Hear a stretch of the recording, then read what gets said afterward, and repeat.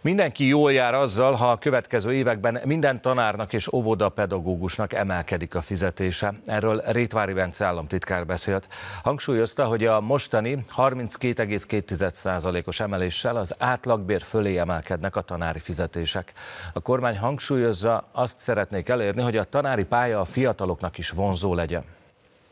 Itt már egy új kérdés lesz, a negyedik C-osztálynak tart órát Dobos Nóra Zalaegerszegen. 23 osztályban 473-an járnak ebbe az iskolába, a gyerekekkel 50 tanár foglalkozik.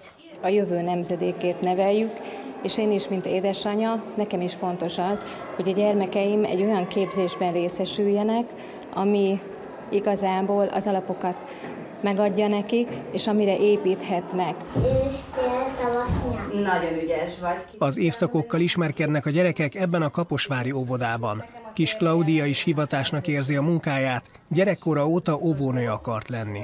Nagyon örültem, amikor most megkaptuk a hírt, hogy növelni fogják a gyakornokok fizetését is, és talán ebből az összegből már lehet úgy félrerakni, hogy családalapítás és a nagybetűs életet el lehet kezdeni vele.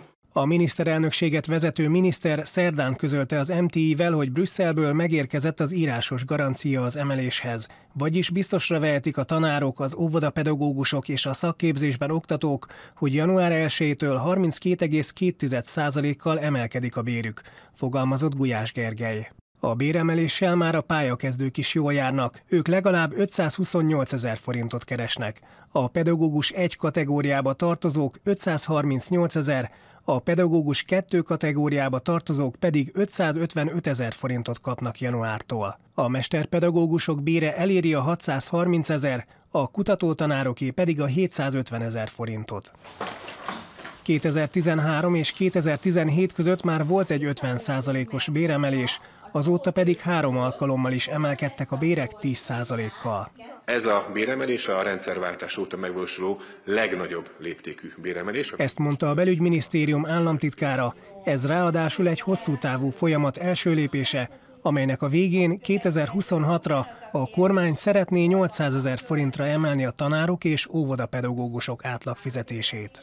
Bízunk benne, hogy ezzel tehát jó képességű tanárok tudják a jövőben is a gyermekeket nevelni és, és oktatni, ezáltal a magyar oktatás színvonala olyan magas lesz, mint amit amire a történelemben az előző években, évtizedekben is nagyon büszkék voltunk, és ez mindez a gyermekeknek és a családoknak az érdekét szolgálja. Az államtitkár arról is beszélt, hogy 20 éve még évente 5000-en kezdtek, folytattak pedagógiai tanulmányokat, 10 éve már 9000-en, ebben a tanévben pedig 13 ezeren.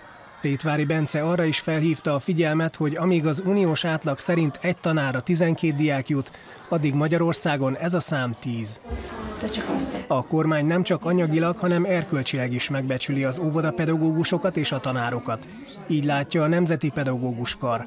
Horváth Péter szerint érdemben javultak a munkakörülményeik. Azért jó, hogyha van egy jó pedagógus életpályamodell, mert ha jó a pedagógus életpályamodell, akkor többen jelentkeznek, jobb képességű pedagógusok jobb körülmények között végezhetik talán nyugodtabban, kiegyensúlyozottan munkájukat, és ez nyilván hat a mindennapi foglalkozásokra is. A teljesítmény alapú bérezéssel pedig még jobban járnak azok a tanárok, akik több időt fordítanak a gyerekekre. Ez a gyakorlatban azt jelenti, hogy aki hátrányos helyzetű gyermekekkel foglalkozik, vagy tanulmányi versenyekre készíti fel a diákokat, az több pénzt vihet haza.